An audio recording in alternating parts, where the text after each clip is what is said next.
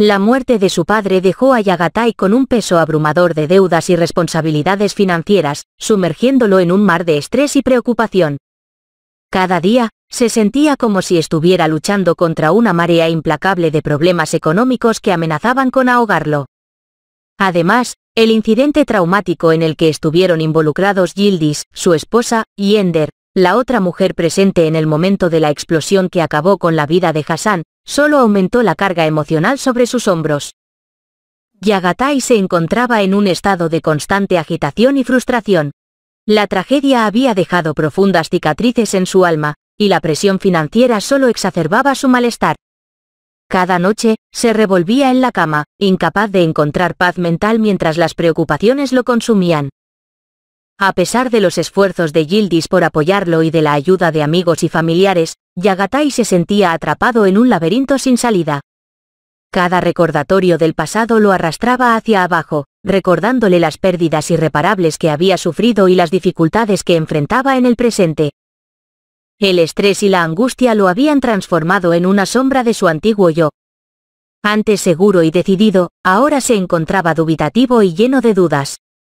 La sombra del pasado parecía seguirlo a todas partes, oscureciendo incluso los momentos de alegría y felicidad. Sin embargo, en lo más profundo de su corazón, Yagatai sabía que debía encontrar la fuerza para seguir adelante. El regreso inesperado de Ender a Estambul sacudió a todos los que la conocían. Después de haberse ido para comenzar una nueva vida en Inglaterra junto a Kayak, nadie esperaba que regresara tan pronto.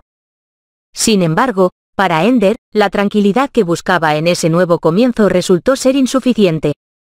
A pesar de tener a Kayak a su lado, algo dentro de ella seguía anhelando la vitalidad y la emoción de la sociedad estambulí que tanto había disfrutado. La decisión de regresar no fue fácil, pero Ender sabía que tenía que seguir su corazón. Ansiaba sumergirse una vez más en el bullicio de Estambul, donde cada esquina ofrecía una nueva aventura y donde podía encontrar el caos que tanto le divertía. Cuando Ender llegó, fue recibida con los brazos abiertos por su hermano Caner y su mejor amiga Gildis. La alegría de verla de nuevo llenó la casa con una energía palpable, y pronto las risas y las conversaciones animadas llenaron el ambiente.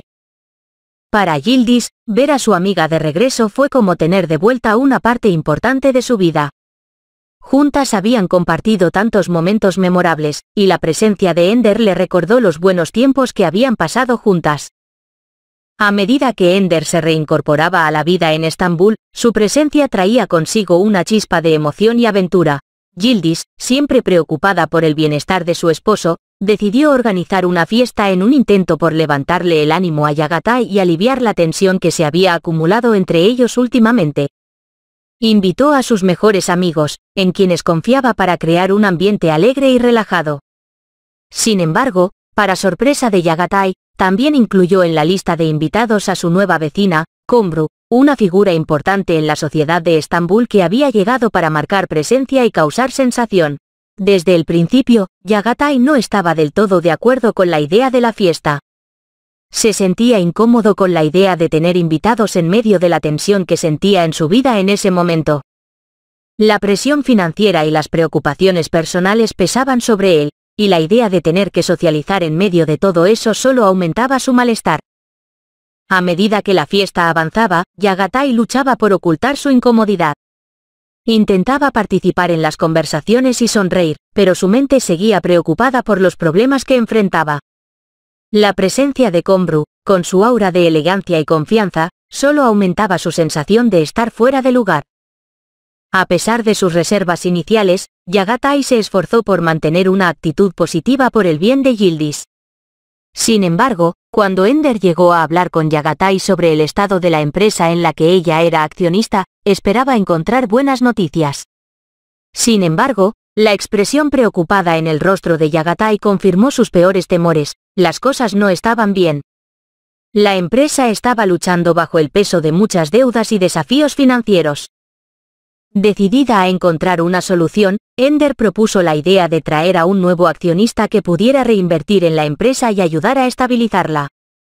Había hecho sus investigaciones y creía firmemente que esta era la mejor manera de sacar a la empresa del bache en el que se encontraba. Sin embargo, Yagatai no estaba tan convencido. A pesar de comprender la necesidad de buscar ayuda externa, le preocupaba ceder el control de la empresa a un nuevo accionista. Desconfiaba de las intenciones de alguien ajeno a la empresa y temía que sus intereses no estuvieran alineados con los suyos. La discusión entre Ender y Yagatai fue intensa y llena de tensiones. Ambos estaban decididos a defender sus puntos de vista, pero al final del día, su objetivo común era encontrar una solución que beneficiara a la empresa y a todos sus involucrados.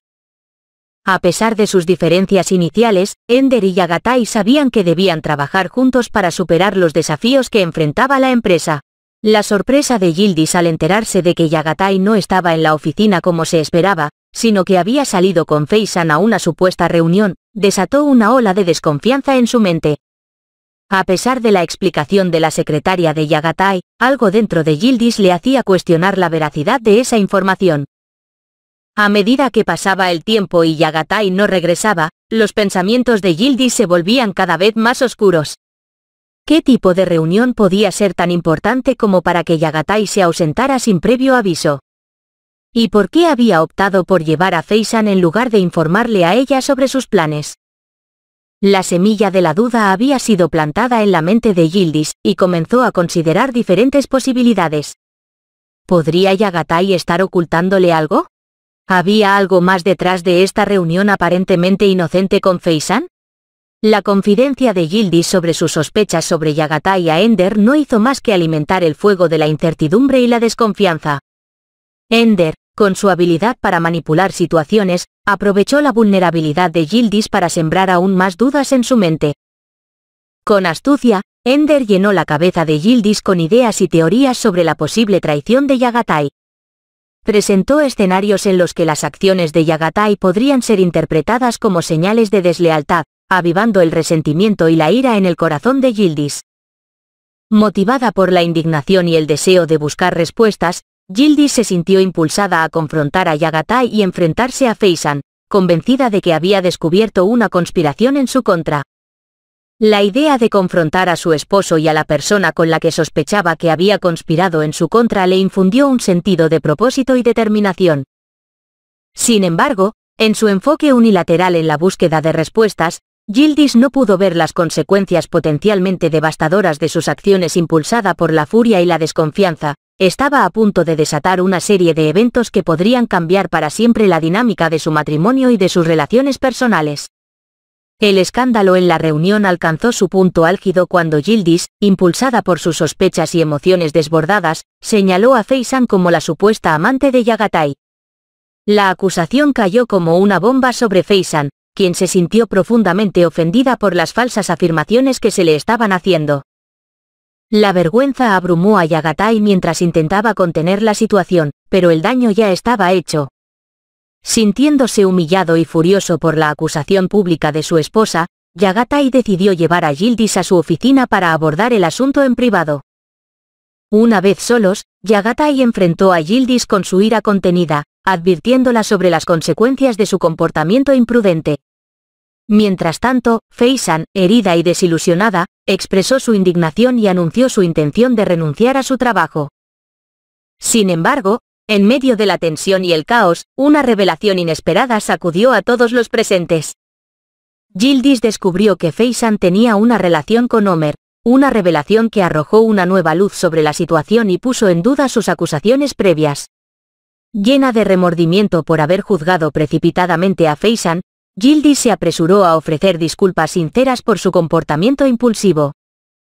Reconoció el error de sus acciones y se comprometió a enmendar las cosas tanto con Feisan como con Yagatai, mientras luchaba por reparar el daño que había causado con sus palabras impulsivas.